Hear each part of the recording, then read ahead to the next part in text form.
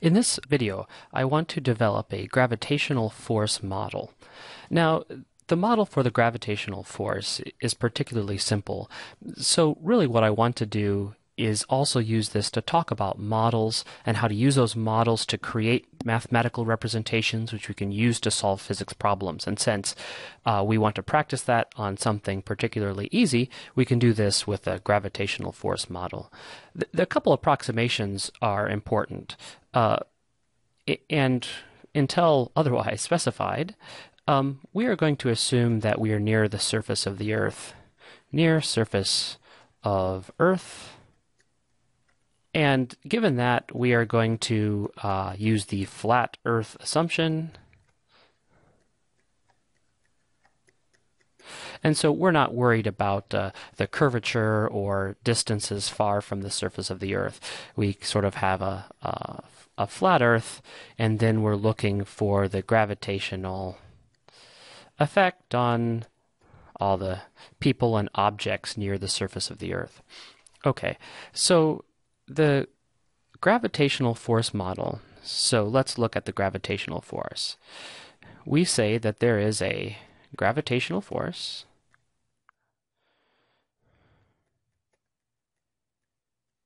gravitational force on an object by the earth. Okay, you can see what I did there. I sort of constructed this uh, in our in, in sort of a sentence. This is the type of force, gravitational. It's on an object and it's by the Earth. In this case, the agent here is the Earth.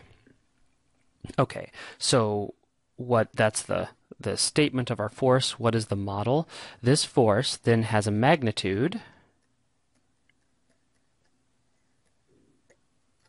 That's given by the uh, mass of object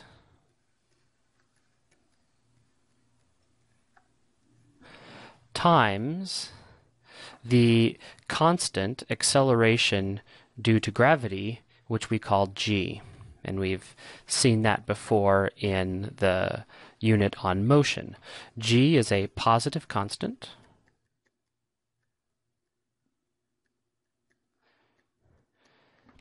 and it is uh, approximately, it depends on the precision with which you want to know it, approximately 10 or 9.8 or maybe 9.81. It depends on your altitude and other factors, but it is some positive constant which you would uh, measure or might be given in a particular problem. Okay, so that's the magnitude, mass of the object times this positive constant known as the acceleration due to gravity. Okay, the direction of this force, the uh, force is a vector, so you need both a magnitude and a direction, then is toward center of Earth. Okay, so you'll see that the gravitational force model that I have here does not involve any particular equation. And that's common in these sorts of models. If you're just hunting for equations, uh, you'll that's probably a mistake because the mathematical representation depends on the specific situation that's involved. And so in this case, the mathematical representation depends on the coordinate system that you would use. So let's do this in a in a couple easy examples to see how it works. So imagine we have our physics professor who's falling down an empty elevator shaft. He's flailing his arms wildly, um, and let's say has a mass of 80 kilograms. What is the gravitational force that is acting on this person? All right. Well, there's going to be a magnitude and that magnitude is going to be the mass of the physics professor, which I'll call m sub p, times g, the acceleration due to gravity, and it's in units of newtons. And so now we can identify what the units are. If the magnitude is the mass times the acceleration due to gravity, mass is in kilograms, acceleration is meters per second squared, so this gives us the units of newtons in terms of our, our other variables. But what is the direction? Well, the direction depends on the coordinate system. So if I were to say, let's set up a coordinate system where up is the positive x direction. I often do that. If I'm simply in one dimension, the person is falling. I could have a, say, a positive y over here if I wanted, the positive z out of the page. Uh, doesn't really matter.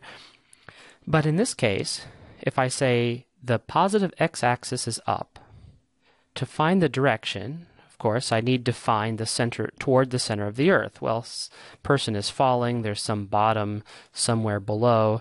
The center of earth is going to be that way. And so the direction then given this coordinate system is going to be the negative x direction for the gravitational force. So now, given my picture, my coordinate system, and the model of the gravitational force, I can now come up with a mathematical representation of that force. The gravitational force, which I'll, it's a vector, and I call it f sub g, lack of anything else, is equal to the uh, magnitude of the force, which is mass of the professor times g, and it is in the negative x direction, so I'll give it a negative sign and the unit vector that corresponds to the uh, x-axis. So this is now the vector gravitational force. And we can go ahead and calculate that if the mass is 80 and we'll use, uh, say, 9.8 for g. This is then equal to negative 784 I hat newtons. So we have a force with a magnitude and a direction and units. Okay, so let's let's do a couple more to to give us some more practice. In this case, we're going to have uh, let's see a cannon. We're going to shoot our physics professor out of a cannon. So now they're traveling uh, at some angle with some velocity. So now, what is the force due to gravity on uh, this this person? Well, the magnitude of the gravitational force is exactly the same. It's uh, mass of the uh, professor times g. That doesn't ch- that doesn't change. And just because the person is traveling in a different velocity, that does not affect the uh, the gravitational force at all. Nowhere in our model does um, does that matter. Okay, but now let's if we're going to do a direction, let's come up with a different coordinate system. In this case, I have a two-dimensional example, and so for just to, for uh, a different situation, I'm going to call the horizontal positive x, and I'm going to call down positive y. In this case, positive z would be into the uh, into the page or into the screen. So I now have a different coordinate system, which means I'm going to have a different direction for my uh, for my gravitational force because the model says the gravitational force direction is always toward the center of the Earth. So in this new coordinate system, the center of the Earth is down, which is going to be the positive y-axis. So here, the direction is positive y. So now if I want to translate, use the model and my picture and my coordinate system to translate the definition of the model into a mathematical representation. My force due to gravity is equal to the magnitude, which is mp g, and this is the positive y direction, so positive j hat my force due to gravity will be a positive 784 j hat newtons. So again, there is no one specific formula, but you have to be able to translate what the model says into each problem given the coordinate system. Okay, let's do one more that's slightly more complicated. In this case, I'm going to have an incline and my physics professor sliding down the incline just to create some excitement into water with sharks.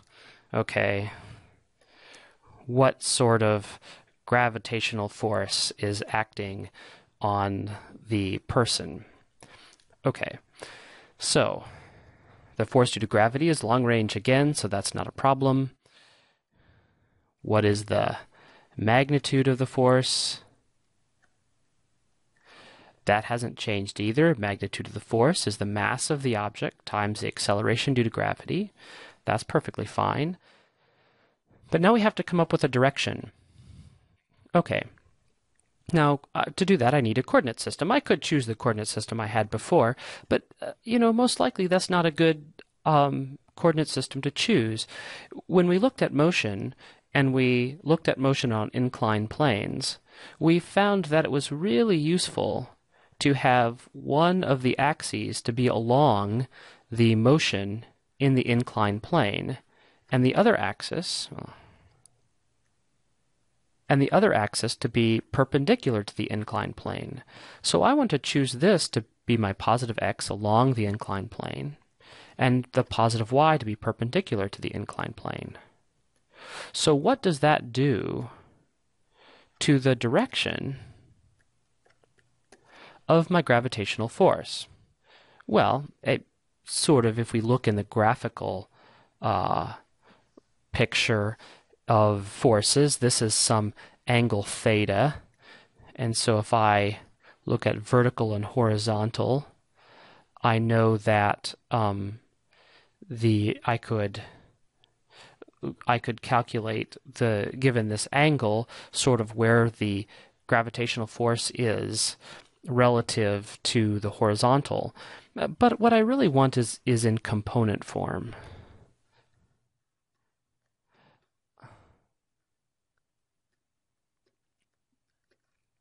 I want to be able to uh, look at the components of the force along the x and y axis, just like I did here.